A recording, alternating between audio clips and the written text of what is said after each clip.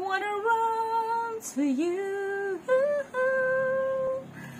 But if I run to you.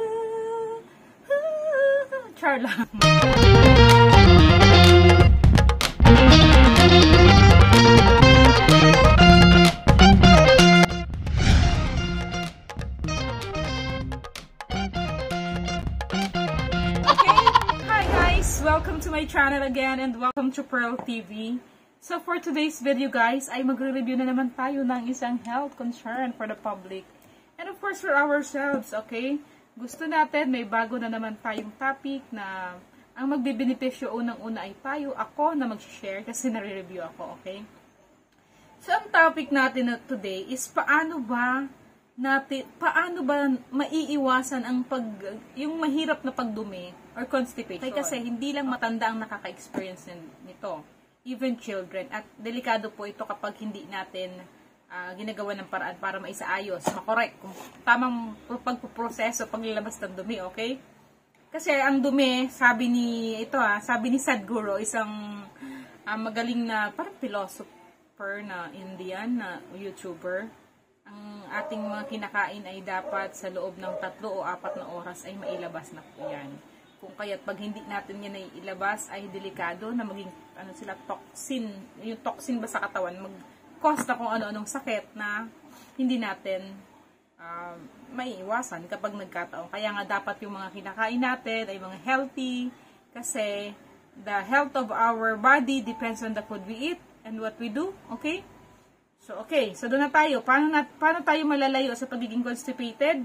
Sabi dito, water drinks lots of it. Okay? Uminom daw tayo ng tamang dami ng tubig araw-araw. So, ilan ba yung tamang dami ng tubig araw-araw? Sabi nga sa akin ni doktora nang nag-consult ako kasi sabi niya, para hindi ka nagkakaproblema, hindi, kasi wala naman akong problema sa, ano, sa urine, ganyan.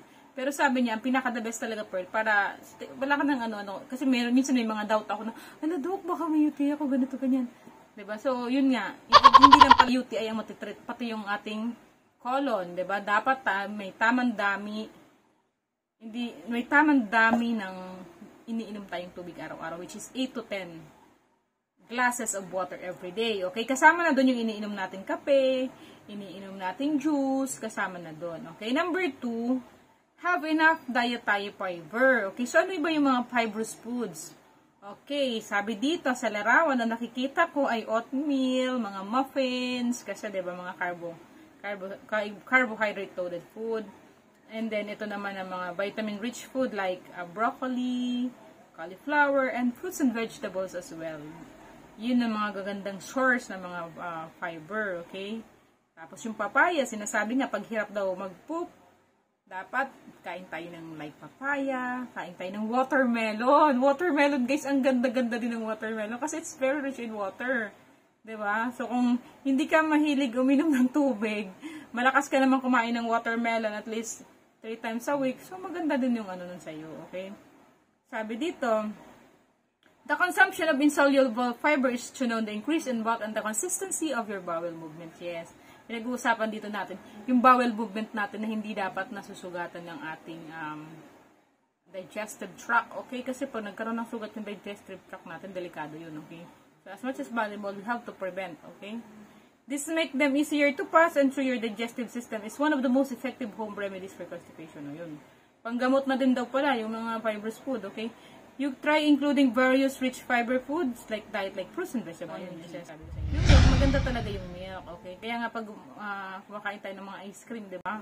Maya-maya magpupup ka na talaga, okay? Number four is lemon water, okay? So, lemon water, guys. Sa bulilit ko, pag nakakonstipate siya, napapansin ko minsan. Kasi nga hindi siya mal babantayan mo talaga siya, dapat tapainumin mo siya ng tubig. Kasi yung bata, ganun eh. Pag ang bata hindi masyadong pagod, hindi, pag nandito lang siya sa bahay, hindi siya nagtatakbo-takbo, hindi siya malakas uminom ng tubig. Unless otherwise, may favorite juice siya dyan, na, yung mga, just like, ano, ano yung tip ko, yung gano'n, tapos yung mga, pero di ba minsan delikado din sa bata yung puro juices. Kasi yung sugar doon, di ba yung sugar, delikado din yung diabetes. So, as much as possible, we need to introduce them, uh, yung pag-inom ng tamang dami ng tubig araw-araw. Ito okay. guys na ano, sa lemon juice, or calamansi juice, or other citrus juice, painumin nyo yung mga anak nyo pag constipated ka. Or even you if you are constipated, okay? And then number six is ginger tea. Yes. Ginger tea is also one of the most ideal uh, drinks to prevent constipation. Ayan. Yes, dapat hot water.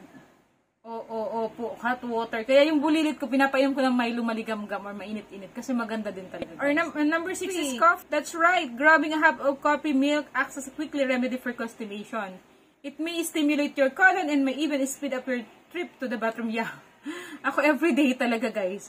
Uh, pagka inom ko ng cup of coffee. So, mabilis talaga. Tatakbo na ako pakatapos niyan.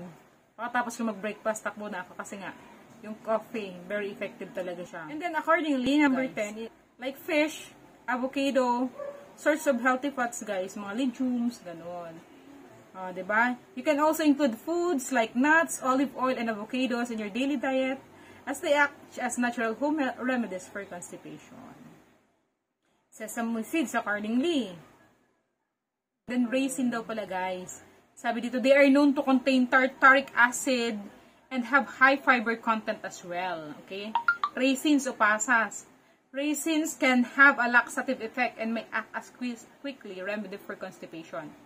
Also, you can consider having them with a bowl of yogurt for added taste. Yeah, bowl of yogurt. Kung nyari may yogurt kayong kinakain, lalagay mo yan.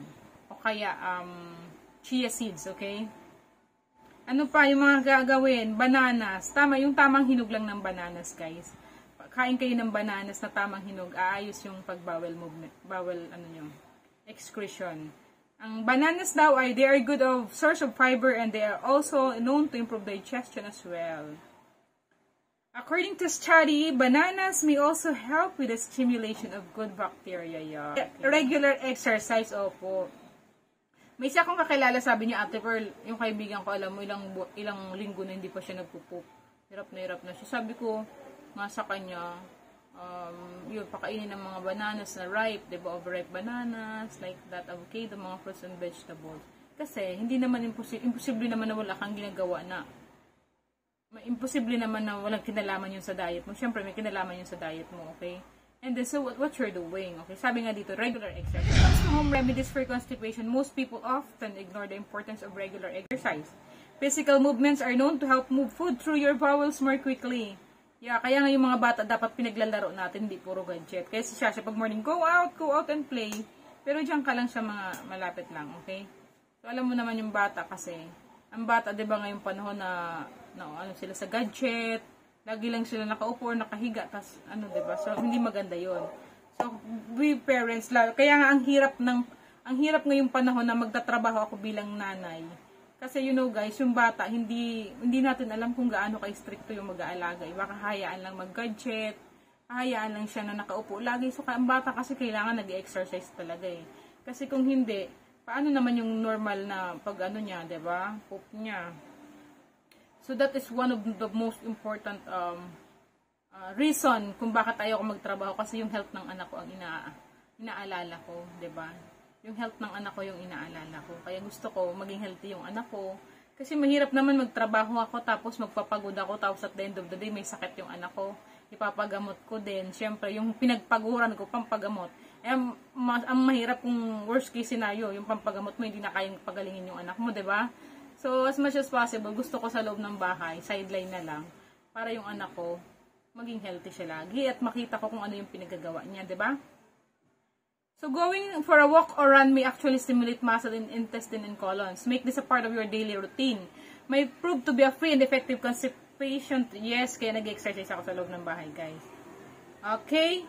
So, sa mga napakinggan nyo, guys, sana, um, kung kayo ay constipated o kaya nahihirapang ilabas ng dumi, try nyo yung guys. Okay? So, for watching, guys, I hope you would love to give a like, comment, subscribe, and ring the bell button in order for you to be get notified whenever I posted a Pearl video. This is thank you for watching. Bye and God bless. Please don't forget to give a subscribe.